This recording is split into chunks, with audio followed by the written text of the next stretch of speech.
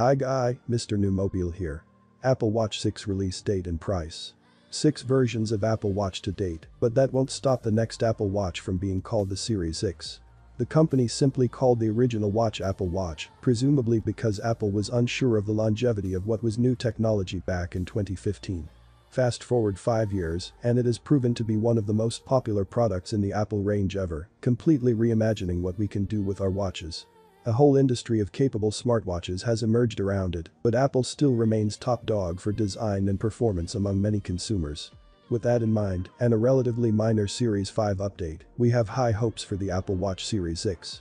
Here's everything we know so far, from release date whispers to key feature rumors. While the iPad and MacBook have more erratic update cycles, the Apple Watch and iPhone remain reassuringly predictable however, the knock-on effects of the coronavirus pandemic may delay the reveal this year. That came from Apple itself, something that rarely happens during its Q3 2020 earnings call. While available a few weeks later than the 2019 model was. Separately, no leaker, Jon Prosser tweeted revised pre-order and launch dates for a number of Apple's 2020 product lineup, including the next watch and iPads. Whatever happens, we'll more than likely see the Apple Watch Series 6 launch this autumn. Despite prices creeping up in recent years, we'd expect the Apple Watch Series 6 to be priced similarly to its predecessor. The Apple Watch Series 5 starts at £399 and $399 for the aluminium version, while the stainless steel variant will cost at least £699 and $699. These are the main two materials aimed at everyday consumers. Higher-end titanium and ceramic designs can push the price as high as £1,399 and $1,399, though, particularly if you add cellular connectivity. We're not expecting any massive Apple Watch redesigns coming soon, but there could be some subtle tweaks to enhance the user experience. The latest leak is that Apple could build additional functionality into the Digitus, but has remained largely unchanged in recent generations. However, that could be all about to change with the Series 6, as Apple has applied for a patent which would allow you to use light sensors on the crown to control your watch. The official document linked above goes into detail on how this might work, but it could mean using swipe gestures around the edges of the watch to navigate the user interface. We're not sure whether this would mean losing the digital crown altogether, or whether this would simply be an alternative to the rotation of the crown we have now. It's important that many patented ideas never make their way into the final product, but it's the most concrete information we have so far. The easiest upgrades to predict on the Apple Watch Series 6 are improved internals. It's almost certain that Apple will have a new S6 processor ready, which could see enhancements to the already excellent performance.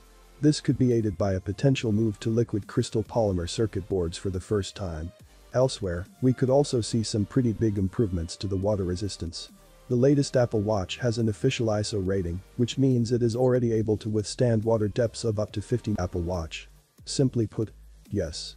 Apple confirmed the sleep tracking functionality will be available in watchOS 7 at WWDC 2020, with the update scheduled for release this autumn, so it'll be available to both new and exist. Many people take their Apple Watch off to charge overnight, so this could suggest the next Apple Watch will be tailored to sleep tracking, possibly resulting in some significant improvements to battery life. This could be achieved by Apple moving to a microLED display, as reported by Chinese site Economic Daily News. The current OLED panels have led to more significant battery drain than had been anticipated. Some think that microLED is still some time away from being introduced to the Apple Watch, which would explain the appearance of a slightly larger battery. A regulatory board that approves new hardware ahead of public release. It's admittedly not a lot bigger at 303.8 mAh compared to 296 mAh of the current Apple Watch, it could offer a small improvement to battery life. Of course, another reason for increased battery capacity is to power new technology, seems to believe that the new Apple Watch will sport blood oxygen level monitoring.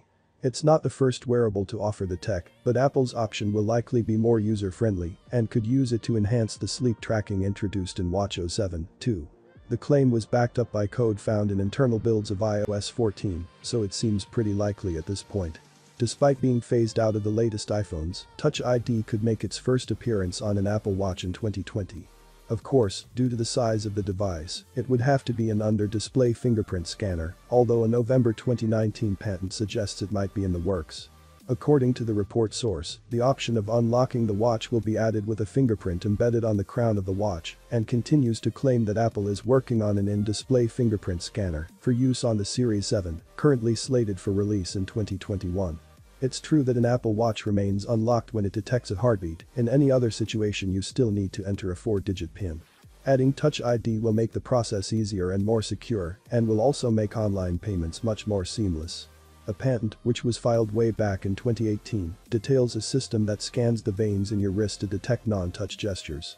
The patent details a device packed with sensors that'll capture one or more images of the user's hand and use those images to figure out the position of the veins and thus the, the position of the hand. It's certainly a good idea there are all times where we can't touch our watch to interact, like when cooking or when wearing gloves in the winter, but as with all patents, it may never appear in an official product. Still, it gives us an idea of the avenues that Apple is pursuing in the development of its smartwatch line. Well that is just a little update I have for now. Please subscribe, like the video, comment thanks for watching see you on my next video one peace out.